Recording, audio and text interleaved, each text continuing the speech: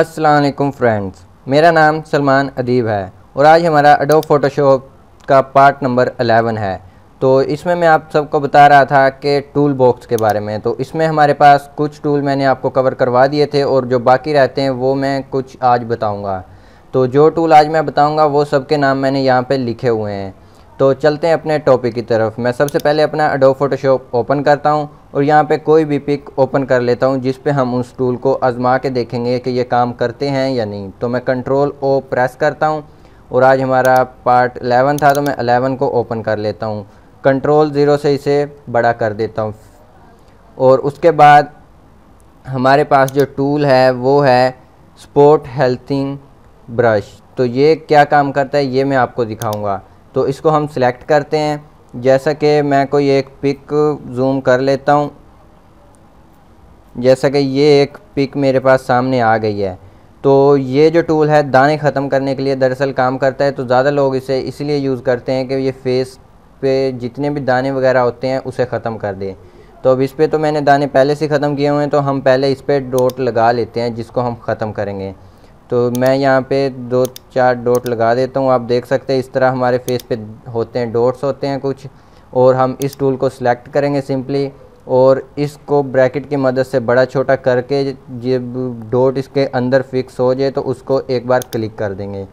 तो आप देख सकते हैं कि जैसे हम क्लिक करेंगे इसको एक बार तो ये डॉट ख़त्म कर देता है। यानी कि ये साइड से अपने जो साइड है वो उठा के उसके ऊपर लगा देता है, और ये ऐसा फिट कर देता है कि ये साइड वाला कलर और जो हमने सेलेक्ट किया होता था, वो सब एक जैसा नज़र आता है हमें। तो आप देख सकते हैं, ये दाने बिल्कुल ख़त्म कर दिए हैं इसने।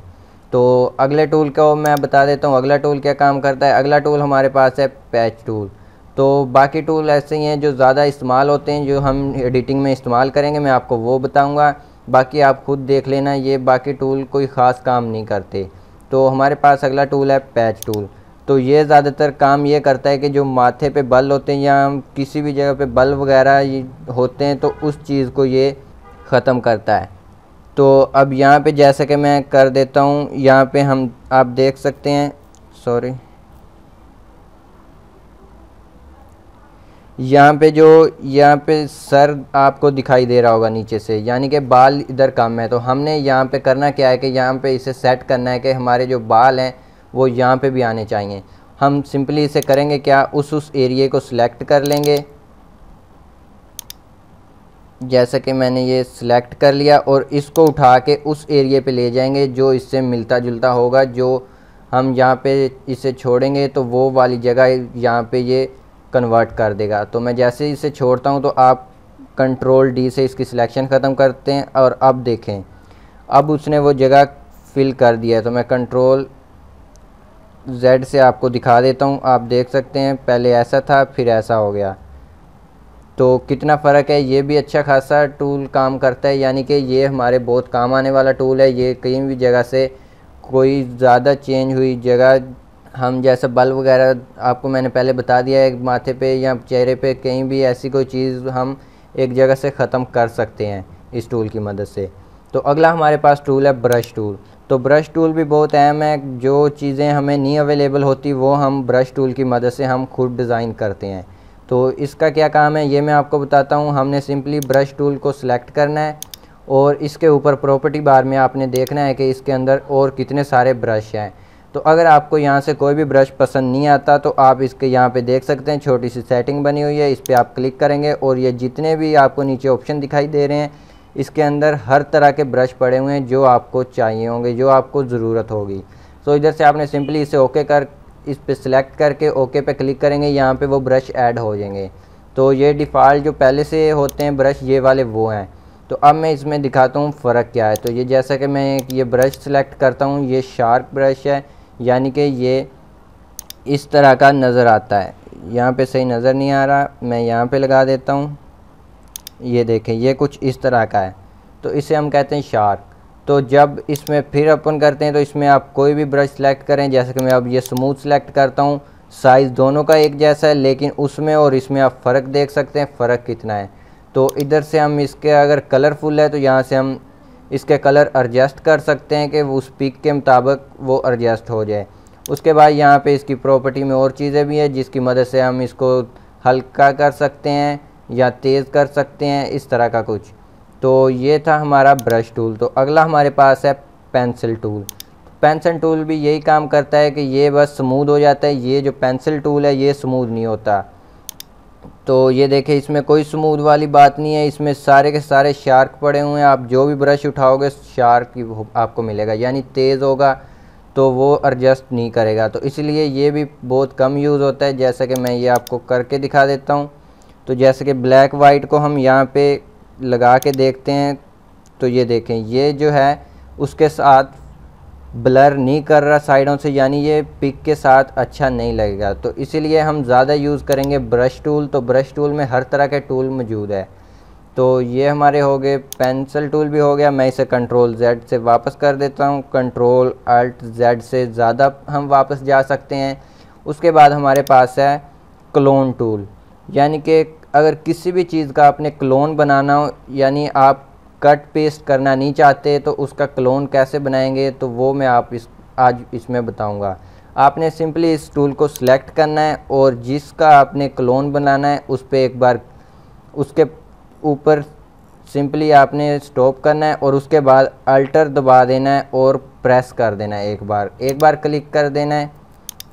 उसके बाद आपने यहाँ पे ये देखें, आप देख रहे हैं कि इसको यहाँ पे आप लेके जाएँगे, वहीं पे ये उसका क्लोन बना देगा। जैसे मैं यहाँ पे क्लिक करता हूँ, उसके बाद यहाँ पे जितना जितना मुझे चाहिए मैं क्लिक करके उतना उतना इसे बना देता हूँ। आप देखें यहाँ पे वो बिल्कुल फिट बन गया है। इसी तरह हम किसी भी चीज़ का क्लोन बना सकते हैं इसकी मदद से। ये तो था, ये तो था क्लोन। अब मैं इसमें एक और टूल है जिसका नाम है पैटर्न। तो इसका मतलब है कि इसके अंदर पहले से कुछ ऐसी चीज़ें, पैटर्न मौजूद है जो हम इसमें लगा सकते हैं। जैसे कि आप यहाँ पे देख सकते हैं, यहाँ पे मैं क्लिक करता हूँ, यहाँ पे मेरे पास थोड़े से पैटर्न पड़े हुए हैं। अगर आप और यूज़ करना चाहते हैं, जो आपकी पिक पे अच्छे लगें तो आप यहाँ से इन्हें ओपन कर सकते हैं। जैसे कि मैं यहाँ से कोई ओपन करता हूँ, क्लिक करता हूँ और अप्रूवल पे क्लिक कर देता हूँ। यहाँ पे और ऐड हो गए हैं। तो यहाँ पे मैं कोई भी सिलेक्ट कर लेता हूँ। उसके बाद यहाँ पे मैं सिलेक्ट करके जहाँ जहाँ तक अच्छा लगता है, वहाँ वहाँ तक इसे लगा देता हूँ।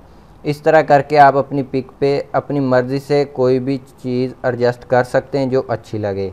तो अब मैं फिर कंट्रोल आर्ट जेड से वापस ले जाता हूँ, जितना भी हमने काम किया इसमें। तो उसके बाद हमारे पास है इसमें हिस्ट्री ब्रश तो ये कैसे काम करता है? तो ये कैसे काम करता है, ये मैं आपको इसमें बताऊँगा। तो हम सिंपली पहले हम इस पे पिक पे जो हमने एडिटिंग की होती है, उसको ये रिमूव करता है। यानी कि अगर हमने गलती से इन लेयर को कंबाइन कर दिया, यानी कि काफ़ी सारी लेयर्स हमारे पास थी, उनको एक में कन्वर्ट कर दिया है तो मैं आपको दिखाता हूँ ये काम कैसे करेगा। जैसा ये हमने एडिटिंग की एक किस्म में इसकी और हम चाहते हैं कि इसको रेज़ कर दें। अगर हम रेज़ से ख़त्म करेंगे तो ये परमानेंटली सारा वाइट हो जाएगा।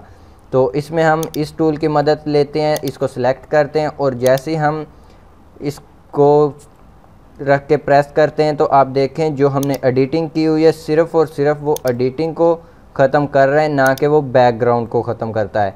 तो इसकी मदद से हम अपनी एडिटिंग की हुई चीज़ वापस ले जा सकते हैं, यानी कि अगर हमने ज़्यादा लेयर्स बना ली थी और बाद में कंबाइन कर दिया और हम चाहते हैं कि यहाँ हमने एक लेयर के ऊपर एडिटिंग करते हैं, किसी किसी को ये पता नहीं चलता कि हम हर बार जो भी चीज़ एडिट करनी है उसके लिए अलहदा लेयर क्रिएट करें, वो एक लेयर पे सारा काम कर देता है तो उसको अगर आपसे कोई गलती हो गई है तो इसकी मदद से आप वापस ले जा सकते हैं। तो इसमें एक और टूल है आर्ट तो मैं इसके बारे में बताता हूँ, ये क्या काम करता है। तो ये आपने मूवीज़ वगैरह में देखा होगा या कोई पिक वगैरह में देखा होगा, यहाँ पे आपके जो पिक है ब्लर कर देते हैं। तो सिंपली ये टूल वो इस्तेमाल करते हैं ज़्यादातर। तो जैसे कि मैं इस पिक पे इस्तेमाल करता हूँ, इस पर रख के मैं ये देखें। जैसे आप रख के थोड़ी देर प्रेस करेंगे, ये ब्लर कर देगा। तो ये ब्लर ऐसा कर देगा कि उसका फेस नज़र नहीं आएगा। तो मैं आपको फिर एक बार दिखा देता हूँ, जैसे वो फेस हल्का सा हमें नज़र आ रहा होता है, लेकिन हमें समझ नहीं आ रही होती। तो वो हम यहाँ पे ओपेसिटी में जाएँगे। इसकी ओपेसिटी जो है, अपनी मर्ज़ी से जितनी आपको अच्छी लगे, उतनी रख के, उसके बाद अब मैं आपको चेक करवाता हूँ कि हम इसको ये देखें। वो जो नीचे से कलर है, उसे उठा के ऊपर थोड़ा सा ब्लर कर देते हैं। यानी कि वो चीज़ नज़र नहीं आती, लेकिन हमें पता इतना होता है कि वहाँ पे कोई चीज़ मौजूद है। तो ये था आज का हमारा टॉपिक जितना मैंने आज के टॉपिक में आपको बताना था, जितने टूल मैंने यहाँ पे लिखे हुए हैं, वो आपको मैंने करवा दिए हैं। तो अब मिलते हैं अगली वीडियो में। तब तक के लिए अल्लाह हाफिज़।